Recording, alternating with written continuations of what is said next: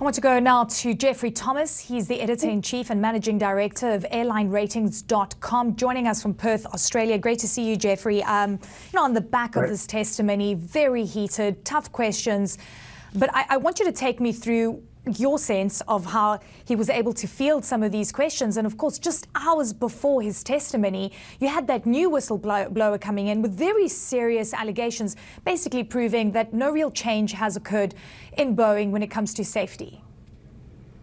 Look, indeed, it was a very brutal hearing, and uh, uh, David Calhoun was was honest, as upfront, taking responsibility, um, and is adamant that, that there is a culture change, uh, and that's that's been my sense. Uh, from engineers and workers that I've spoken to at Boeing, that yes, change is certainly underway.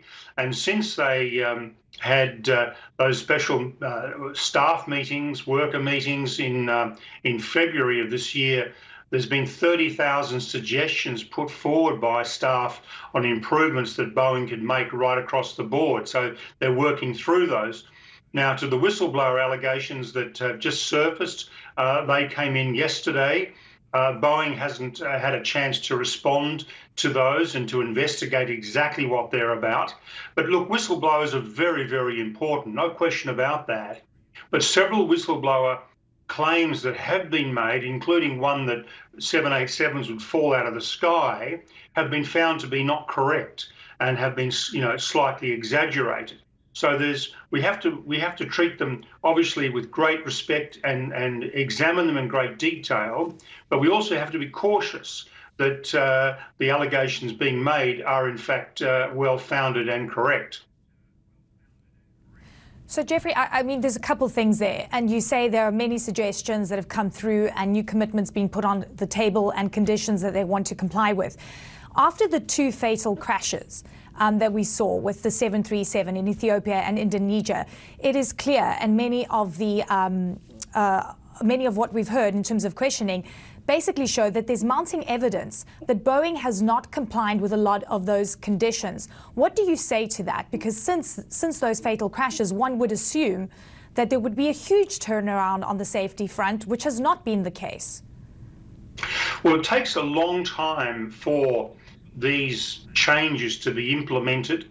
Uh, also, you know, you've got the supply chain as well. Uh, you have to make sure that all down the line, um, you know, Boeing's got literally thousands. They've got 22,000 suppliers right around the globe.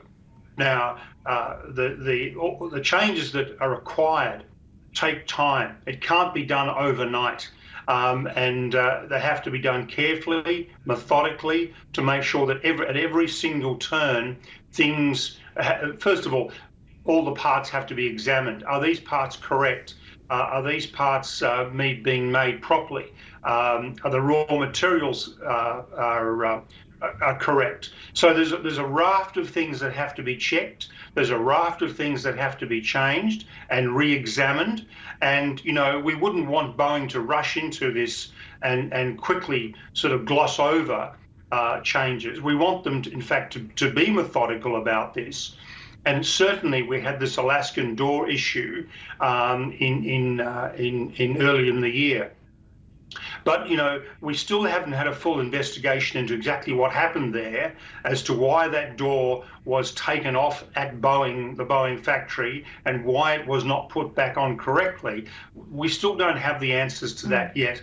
Um, but look, they are they are indeed making changes right through the system, but they do take time, um, and maybe it's not fast enough for some of the senators. I understand their angst, but they are making progress.